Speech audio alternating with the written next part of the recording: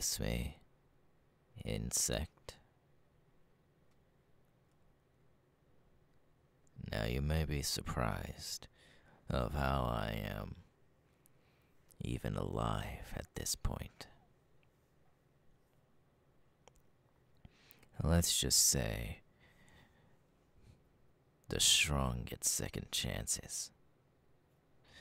And a second chance at my life does not seem that bad to me. So, I made a deal, a certain deal, with someone who is very good with technology. He said I could fix you. He said I can make you better. He said I can give you your power back if you let me. And you know what I said to him? I said, sure. I have nothing else to lose, so why not? And here I am. Back to almost perfection. Sure, my quirk works a little different, but I like it. My quirk formed into my new body very quickly, having the feeling back in my arms is something of a godsend.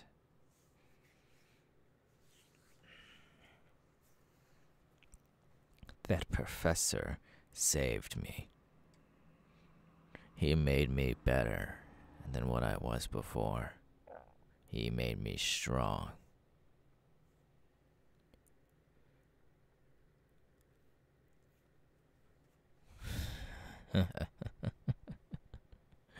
you don't get it, do you? We've already planned for this to happen. Well, as we're talking right now, we have thousands of, uh, maybe even ten thousands of lucky individuals who have succumbed to the doctor's needs and now are being upgraded like myself. Yes. As we speak, in an undisclosed laboratory, the doctor is working very hard and very quickly on these cybernetic upgrades for people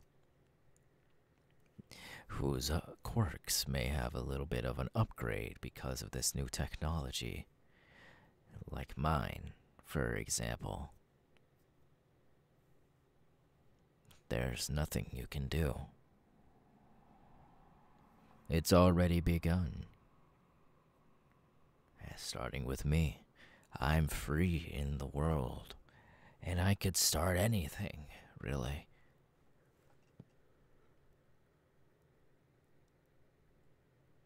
But I'm stuck here with you.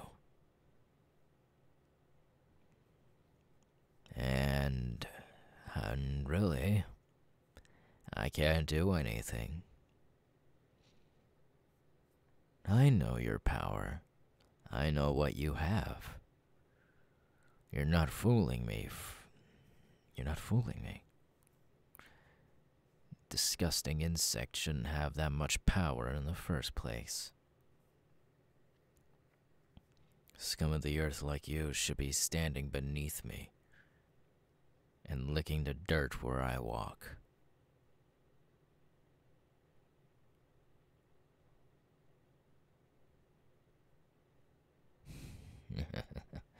you think your pro heroes can do anything? How many of, of your pro heroes have died when I was active? Please tell me this. New and improved heroes. I'd like to see that.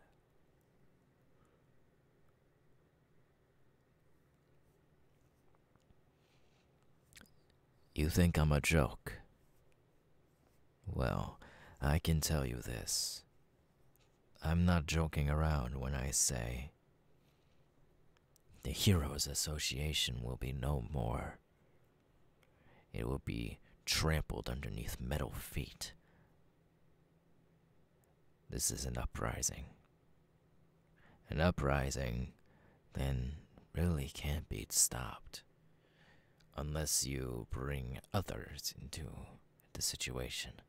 That just means the doctor will have to work overtime. But there will be more. We have a following, we have a cult of some sort.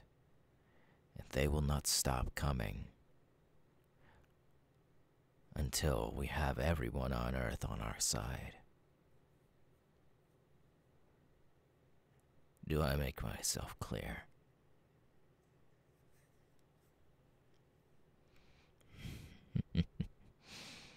You call me a monster quite a lot in our past conversations. It's been a while since we've talked, but I can guarantee you I'm no monster.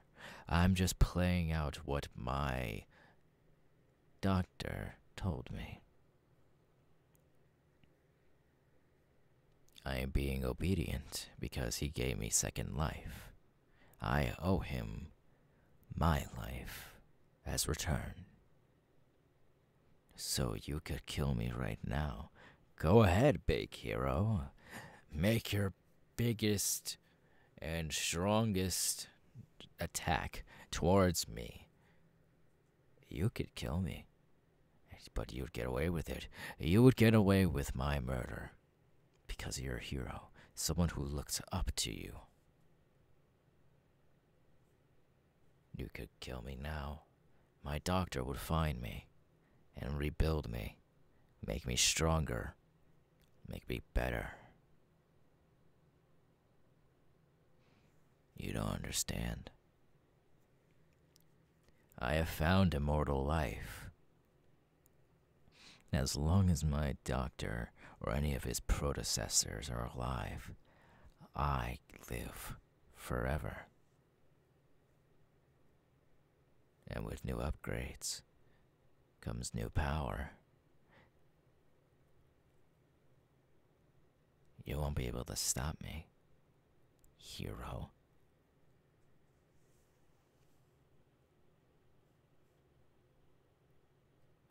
The look in your eyes of ter- true fear. Such terror. You realize you won't be able to stop me now. So, let me deliver a short message to all the heroes out there. Can you bring it back for me? Tell all of the pro heroes. Matter of fact, make it a meeting of some sort. You need everyone in the school, your little school, to hear that overhaul is back. And he's not going to go anywhere anytime soon. There's no way to stop him. He's gained immortal life.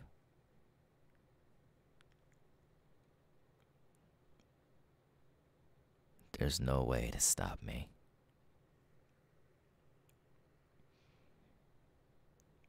No one can.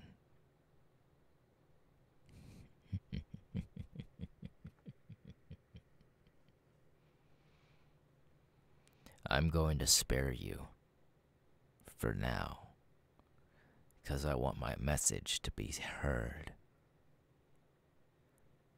Now get out of here. You make me disgusted. And my own culture. And my own species at that. Go.